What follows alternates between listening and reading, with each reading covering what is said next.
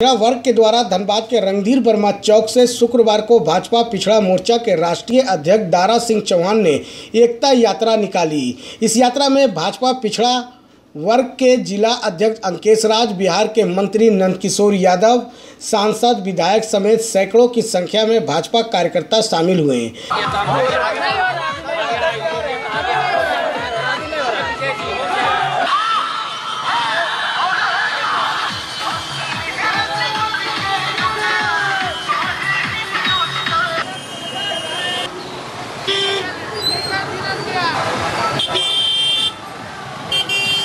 आपको बता दें कि एकता यात्रा शुरू करने से पूर्व दारा सिंह चौहान सिंह मेंशन पहुँचे, जहाँ उन्होंने झरिया विधानसभा क्षेत्र के परवल दावेदार रागनी सिंह से औपचारिक मुलाकात की। हालाँकि मुलाकात के संबंध में उन्होंने मीडिया से कोई बात साझा नहीं की।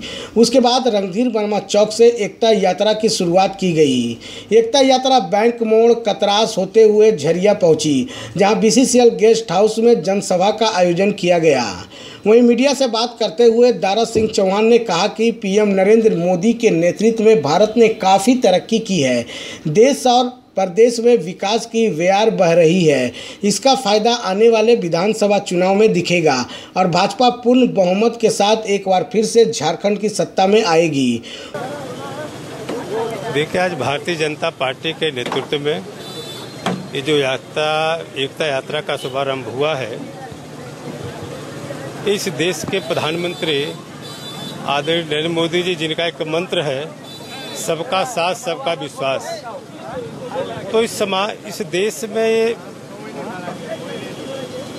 ऐसे तमाम समाज के लोग, जिनकी सत्तर साल तक पूछ और पहचान नहीं थी, उनको खंडों खंडों में बांटा गया। सारे लोगों को संगठित करके, सारे लोगों को एकता के साथ लेकर के, सारे लोगों को हमें अपने लक्ष्य तक पहुँचना है। इसीलिए चाहे हिंदू हो, मुसलमान हो, सिख हो ईसाई है, सारे समाज को लेकर के, एकता बना करके हमें आज पहुँचना मुझे खुशी है।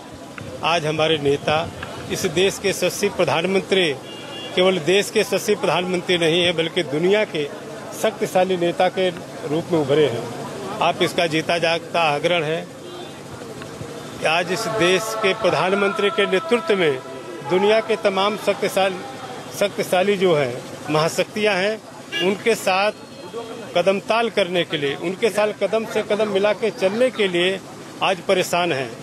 आपने देखा दुनिया के जो शक्तिशाली देश है, उसके राष्ट्रपति ट्रंप जो है, आज उनको भी आदरणीय हमारे नेता का सहारा लेकर के ही अमेरिका में आगे बढ़ने का अवसर मिल रहा है। इसलिए मैं बधाई देता हूँ कि जिस तरीके से धनबाद की जनता ने यहाँ पे स्वागत किया है, एकता यात्रा का मुझे पूरा भरोसा है कि आने वाले दिन में जब भी अगर चुनाव होता है तो निश्चित रूप से हमारे अकबर दास के नेतृत्व में, फिर झारखंड में यहाँ पे भारतीय जनता पार्टी की सरकार बनेगी और माननीय मोदी जी के नेतृत्व में एक शक्तिशाली देश जो है, फिर आगे बढ़ने का काम करेगा। हम लोगों ने जो है, वह ओबीसी मोर्चा धनबाद जिला भाजपा के तरफ़ से जो एकता रैली का जो है, अद्भुत रैली निकालने का काम किया था। एक मैसेज देना चाह रहे थे पब्लिक को कि हम लोग यहाँ हिंदू मुस्लिम सिख ईसाई सभी जो है भाईचारे के साथ रहते हैं।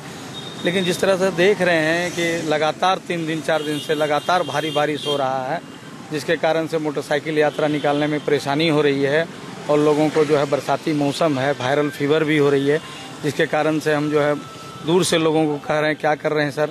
लेकिन आने में देर हो रही है लेकिन फिर भी जो भी है हम इस यात्रा को अब रणधीर वर्मा चौक से जो भी है निकाल करके एक संदेश देने का काम करेंगे और आम सभा जो है जियालगौड़ा गेस्ट हाउस में होगी। इसमें अभिनंदन समारोह के रूप में मैं यहाँ राष्ट्रीय अध्यक्ष दारा सिंह चौहान जी का अभिनंदन करेंगे और वहाँ पर जो है, वो भी जो है विभिन्न समाज के लोगों को माला पहना करके, शॉल ओढ़ा करके जो है उनका मनोबल बढ़ाने का काम करेंगे, उनका स्वागत करेंगे। वहीं एकता यात्रा में बाइक सवार भाजपा समर्थकों में अधिकांश ट्रैफ़िक नियमों की खिल्ली उड़ाते नज़र आए।